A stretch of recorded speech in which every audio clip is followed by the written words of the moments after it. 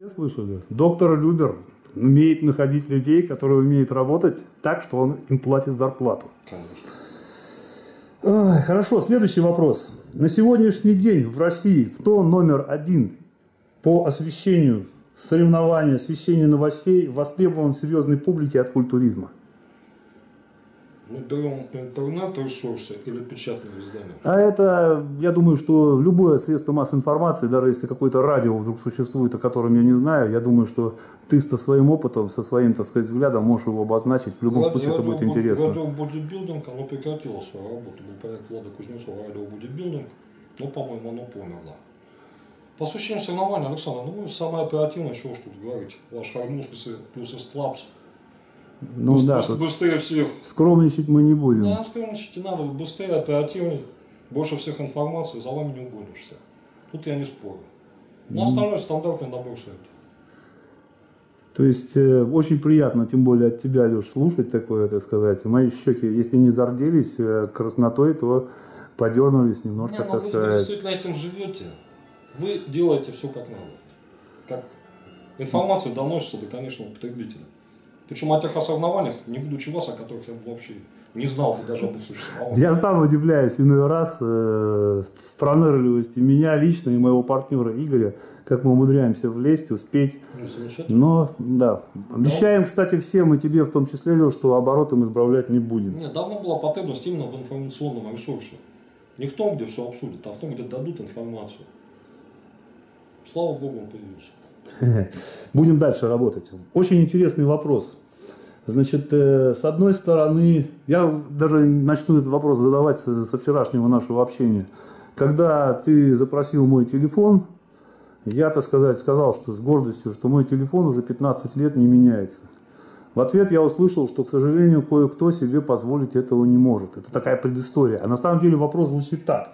Алексей, ты известен как один из специалистов, можно сказать, гуру бодибилдинга. Очень просто, ну, дайте четко разделять. Есть бодибилдинг соревновательный, есть бодибилдинг такой вот для себя, который в интернете, в принципе, почитателями которого в интернете заполнены все сайты.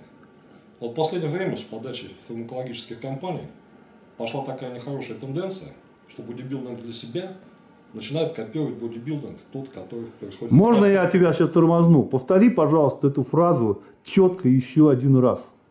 Пожалуйста. В последнее время пошла такая тенденция, что с подачи фармакологических компаний, производителей стероидов, образ жизни профи позиционируется как образец для подражания теми, кто занимается бодибилдингом для себя.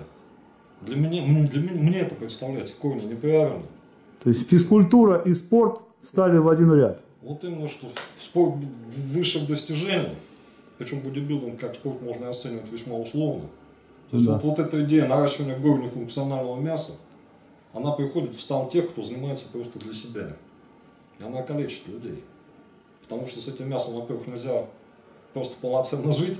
Шнурки завязывать, попу вытирать. Вот, во-вторых, образ жизни профи предполагает что? Есть, спать, тренироваться. Обычный человек, как он себе это может позволить? Ему, простите, деньги зарабатывать когда-то надо на вот этот образ недешевой жизни. Ну, и во-вторых, я не понимаю ну, саму идею, зачем вливать в себя столько, если для цели простого любителя можно обходиться там, ну, наверное, десятой частью от того, что делает профи. Просто не понимаю. Акцентирую. Доктор Любер сказал. Доктор Любер сказал, молодые и не очень молодые люди, вслушайтесь в его слова. Не путайте понятийный аппарат.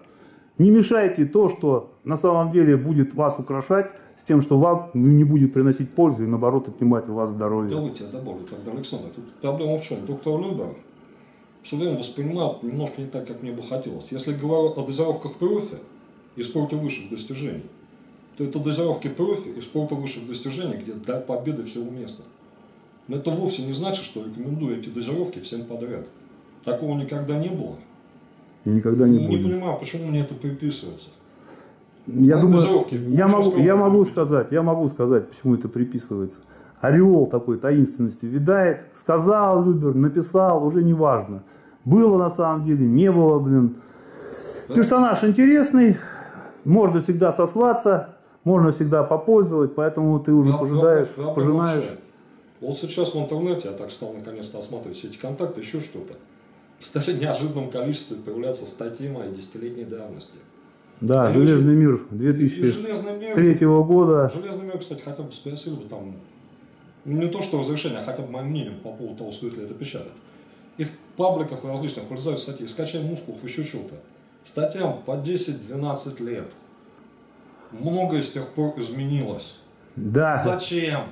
да. Просто зачем? Еще момент. Вконтакте есть группа магазина Любершоп. Там админ печатает новости.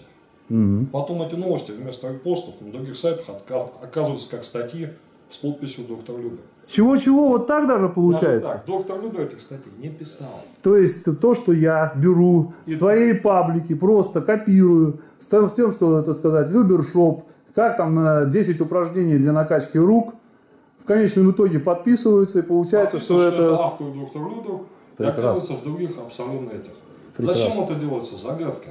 Ну, Я я- физически не мог написать такого количества статей. но на самом деле тут загадки никакой нет. Блестяще. Блестяще. Эх, не могу не затронуть эту тему. Э, тема бикини. В общем, что ты можешь э, по этому поводу вообще сказать? Коротко и ясно, то есть эмоционально. По Э, бикини. Да, бикини. Надо сказать что-то то, чего еще не говорилось.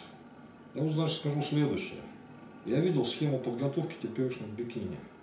Как они набирают массу, сушатся, еще что-то делают. Как путем титанических усилий из свинки на две недели получается нечто удобоваримое. Девочки, мне казалось, что бикини это спорт тех, кто одарен генетически. Кому не нужны вот такие вот сверхусилия, сушки, уж тем более гормоны роста и стероиды, для того, чтобы приводить себя в порядок. Если Господь вам не дал этого, бикини не для вас. Не надо пытаться залезть на сцену любой ценой. Не дал Господь, значит не дал. Такая пауза. Я хочу сказать, что я вот... Леш, мы всегда с тобой в этой теме сходились. То есть мое мнение практически всегда совпадало в части женского спорта. Я миллион раз говорил и сейчас говорю, позиционирую себя как сподвижник Алексея в данном случае, что женщины, оставайтесь женщинами. Первичные, вторичные, так сказать, наши все внешние данные, внутренние данные должны оставаться. Мужчины делайтесь мужественнее, женщины оставайтесь женственнее. И Алексей, я так понимаю, меня в этом плане поддерживает на 200%, на 300%. Девчонки, вы, если вы и так красивые, то на какого пса вам нужно вот эти вот... Эх. На выдохе. Тем, кто смотрит наше интервью, пожелания. По желанию. Видите здоровый образ жизни, наслаждайтесь жизнью. Смотрите на жизнь правильно. Спасибо большое, доктор. Как нам повезло, что мы вас отловили. Ислав.ру, я, Тимошенко Александр, Игорь Копчик и доктор Любер Алексей Киреев.